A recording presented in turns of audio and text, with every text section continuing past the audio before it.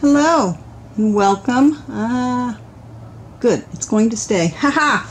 welcome to Mrs. Pam Reads. This is my back porch, and remember, I'm here by myself, so I have to come around from the camera. Whoop, let me do my hair. I got some funny stuff happening up there with my hair. Anyway, we are reading A Man Called Ove. My cat's visiting by Fredrik Backman. And I'm going to try my reading glasses today. It has um, been a little interesting. it's been a little interesting with my bifocals because sometimes it gets a little blurry. So today we're going to try it with the reading glasses. Now we are on chapter five today, and I forgot to look and see how many, oh, I think we'll have to divide chapter five up. Um, in chapter three, if you've been following all along, you may have gotten a little inkling that something was amiss with Ove's wife. And in chapter 4, at the very end, we did learn that his wife has died about six months before this story starts. All right, let's go ahead and get started. So we're chapter 5, and it's actually entitled A Man Called Ove, just like the book. Ove knew very well that her friends couldn't understand why she married him. He couldn't really blame them. People said he was bitter. Maybe they were right.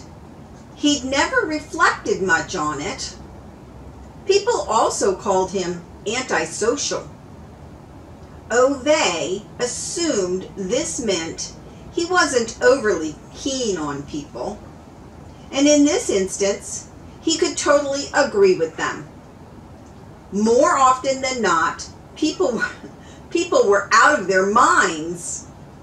Ove wasn't one to engage in small talk. He had come to realize that, these days at least, this was a serious character flaw.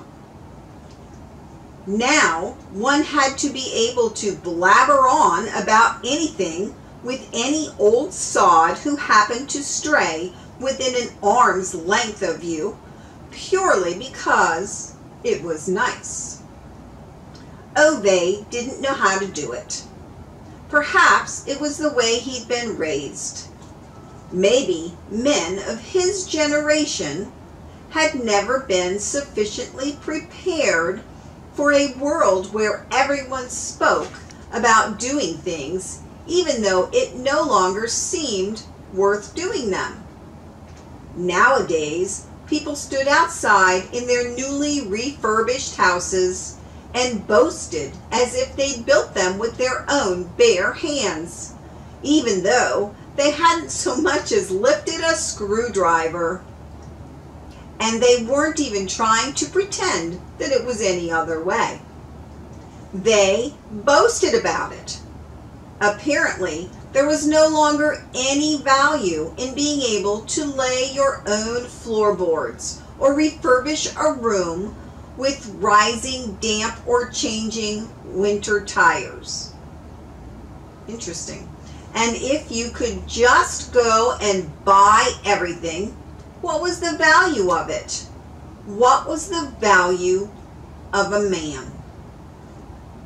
Her friends couldn't see why she woke up every morning and voluntarily decided to share the whole day with him. He couldn't either. He built her a bookshelf and she filled it with books by people who wrote page after page about their feelings. Oh, Ove understood things. He could see and touch wood and concrete, glass and steel, tools things one could figure out. He understood right angles and clear instruction manuals. assembly models, and drawings. Things one could draw on paper. He was a man of black and white, and she was color. All the color he had. The only thing he had ever loved until he saw her was numbers. He had no other particular memory of his youth. He was not bullied, and he wasn't a bully, not good at sports, and not bad either. He was never at the heart of things and never outside. He was the sort of person who was just there. Nor did he remember so very much about his growing up. He had never been the sort of man who went around remembering things unless there was a need for it. He remembered that he was quite happy and that for a few years afterwards he wasn't. That was about it. And he remembered songs. The numbers filled his head. Remembered how he longed for their mathematics lessons at school Maybe for the others, they were a sufferance, but not for him. He didn't know why, and didn't speculate about it either. He'd never understood the need to go around stewing on things that didn't turn out the way you wanted them to. You are what you are, and you do what you do, and that was good enough for Ove. He was seven years old when his mum called it a day one early August morning. She worked at the chemicals plant. In those days, people didn't know much about air safety, Ove realized later. She smoked as well, all the time.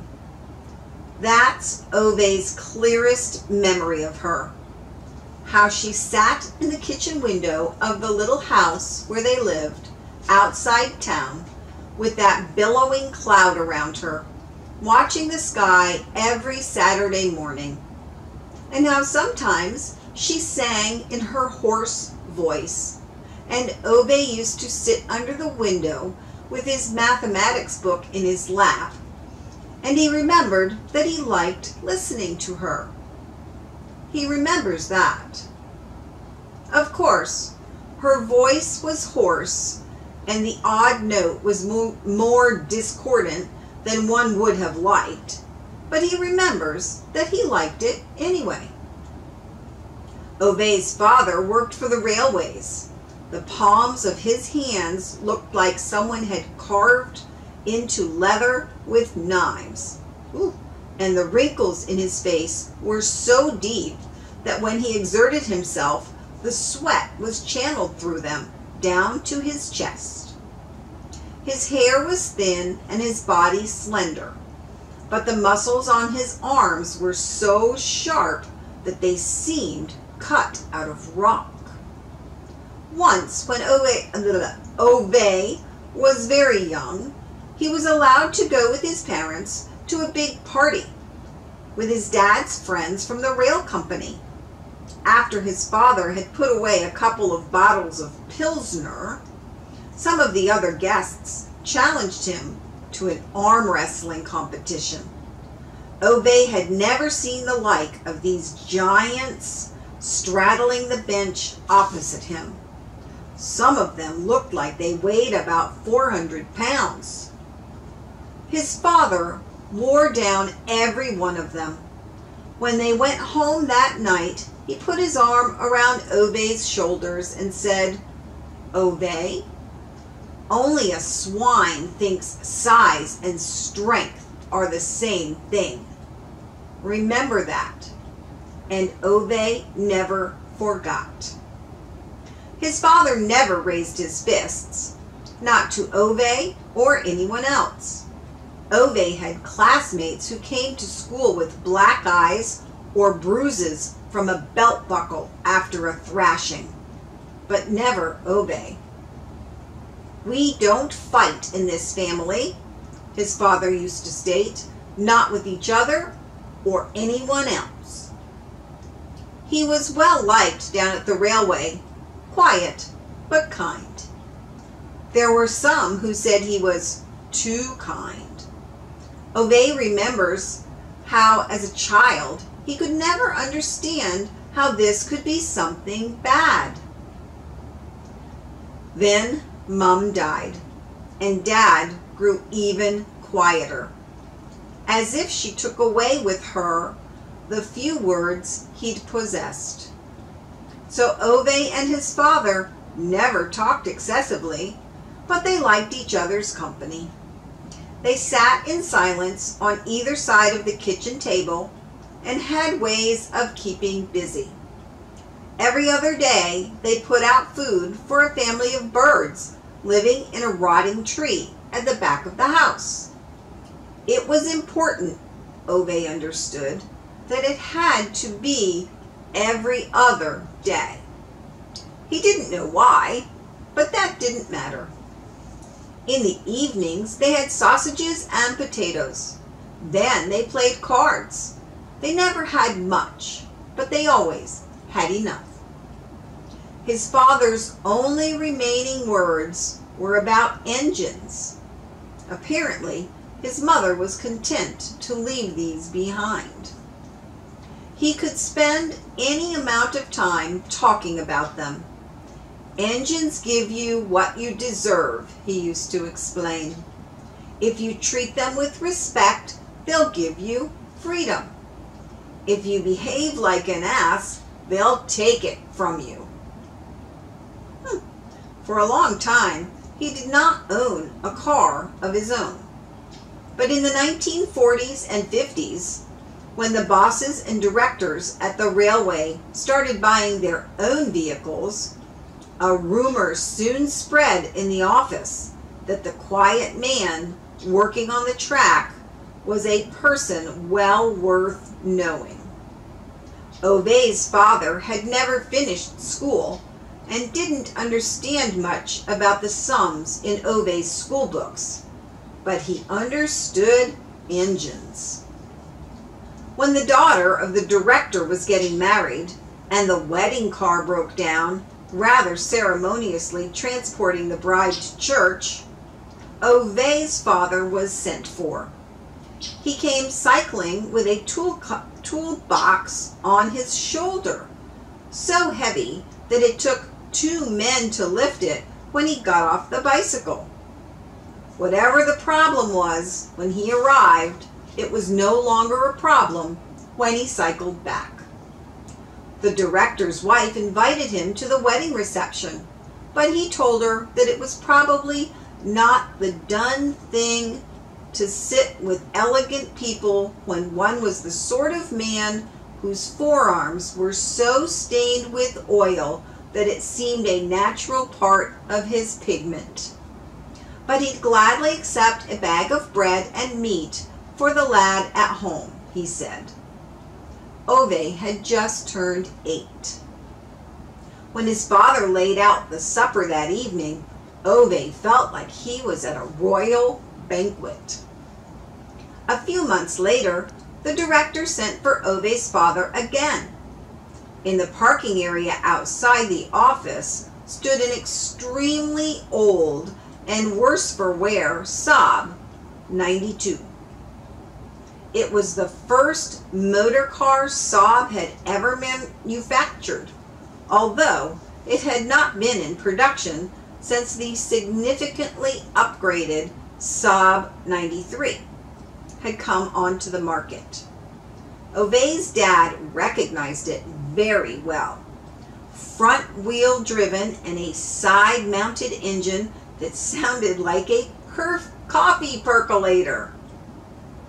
It had been in an accident, the director explained, sticking his thumbs into his suspenders under his jacket. The bottle green body was badly dented, and the condition of what lay under the hood was certainly not pretty. But Ove's father produced a little screwdriver from the pocket of his dirty overalls, and after lengthily inspecting the car, he gave the verdict that with a bit of time and care and the proper tools, he'd be able to put it back into working order. Whose is it? he wondered aloud as he straightened up and wiped the oil from his fingers with a rag. It belonged to a relative of mine, said the director, digging out a key from his suit trousers and pressing it into his palm. And now it's yours. With a pat on his shoulder, the director returned to the office. Ove's father stayed where he was in the courtyard, trying to catch his breath. That evening, he had to explain everything over and over again to his googly eyed son and show all there was to know about this magical monster now parked in their garden. He sat in the driver's seat half the night with the boy on his lap, explaining how all the mechanical parts were connected. He could account for every screw, every little tube. Ove had never seen a man as proud as his father was that night. He was eight years old and decided that night he would never drive any car but a Saab. Whenever he had a Saturday off, Ove's father brought him out into the yard, opened the hood, and taught him all the names of the various parts and what they did. On Sundays, they went to church, not because either of them had any excessive zeal for God, but because Ove's mum had always been insistent about it. They sat at the back each of them staring at a patch on the floor until it was over. And, in all honesty, they spent more time missing Ove's mum than thinking about God. It was her time, so to speak, even though she was no longer there. Afterwards, they take a long drive in the countryside with the Saab. It was Ove's favorite part of the week. And I think we're going to stop right there before my battery runs out. So that's the first half of chapter 5. We'll pick up the second half of chapter 5 in the next video. Thank you for joining me for Mrs. Pam Reads. I know I got to get my little sign here for you. All right please remember to click the subscribe button. And when you do, you'll find a little bell. Click on the bell and you will get an update when a new video posts. All right, you guys, thanks for joining me. Have a great day and I will see you next time.